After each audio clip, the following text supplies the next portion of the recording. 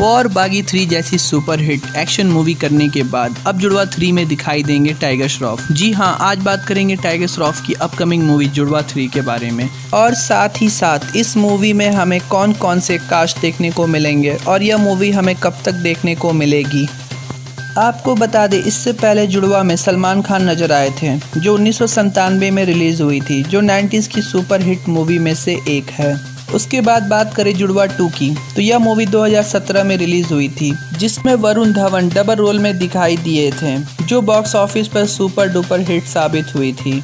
खबरों के मुताबिक साजिया नाडिया डवाला एक बार फिर इस मूवी का थर्ड पार्ट लाने वाले हैं। जी हाँ हमें जल्द ही जुड़वा थ्री देखने को मिलने वाली है।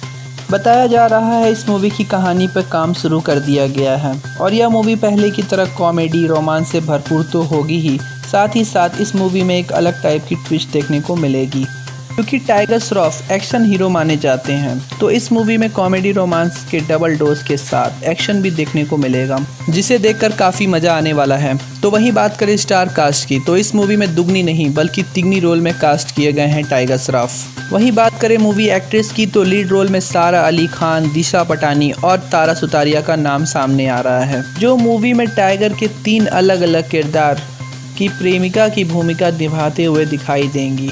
लेकिन अभी तक इन्होंने फ़िल्म में काम करने के लिए कुछ कहा नहीं है। इससे यह लगता है कि मूवी देखने में कुछ वक्त लग सकता है। इस मूवी को देखने के लिए आप कितना उतावले हैं, कमेंट में ज़रूर बताएँ। इस मूवी से जुड़ी कोई भी न्यूज़ आती है, आपको ज़रूर बताया जाएगा। वीडियो अच्छी लगी हो तो वीडियो को लाइक कर दें और हमारे चैनल को सब्सक्राइब कर दें।